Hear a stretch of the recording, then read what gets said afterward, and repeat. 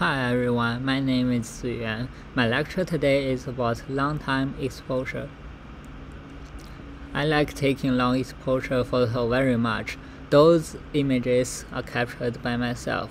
However, it really annoys me because I need to keep my camera steady. I can only capture the objects that are relatively still to me and I cannot capture daylight without any filter because a very large number of photons will quickly fill the sensor.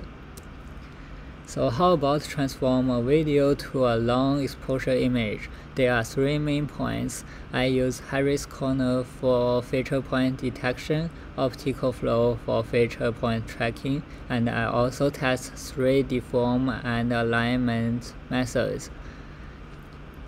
There are simple examples on the right for the three processes. Each of the deform and alignment methods have pros and cons. The template matching is simple, but it only has shift info. The affine is easy to control, but it's less freedom than the homography. But the homography is sensitive to the feature tracking correctness. I mainly use affine and homography in this project. So let's see some results. This is a shuttle I filmed on a talk show. This is computed by a video that filmed on Monday. Ziang and his team won the first round of the rowing competition, and he was waving to us. These are some pictures that computed from old videos. This project brought the past videos to life. After talking about the day, let's talk about the night. What fascinates me the most is fireworks. Night light is more challenging than daylight because the limited dynamic range of camera. The brightness of the fireworks is much greater than the value recorded by camera. I use the prior knowledge here suggested by Adi I first find the saturated points and set the mask to 0 or 1. Then I use a weighted average to recover the saturated light. Alpha here is a user setting value. I also change the RGB to HSV to preserve the color.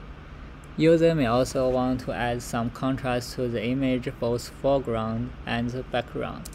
Here is a visualization of the process you first get the average image and you recover the saturated info, you add them up to get the final result. The highlight of this project is that you can first record the video, go home and find the thing you want. You can edit the video, splice it, and then you can get the photo.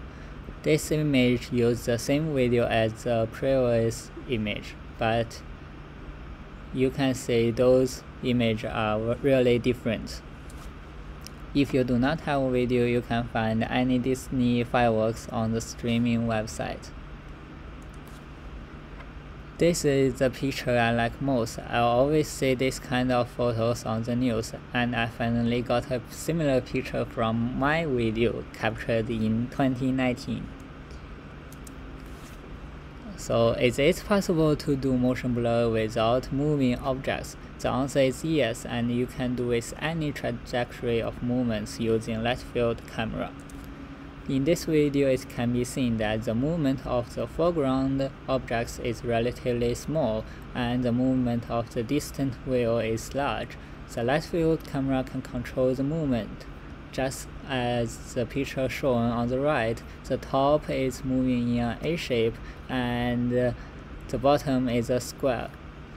Someone will ask, is not a continuous figure, is it difficult to get it by dragging the camera? I think the answer is yes, but that's the magic of computational photography. You can input any pattern and then get the same motion blur as the pattern. If we take three images by panning the camera, we can get a wider range of motion blur. I wish I could have many light field camera at the same time. And that's all. Special thanks to Ali's help and thanks for listening.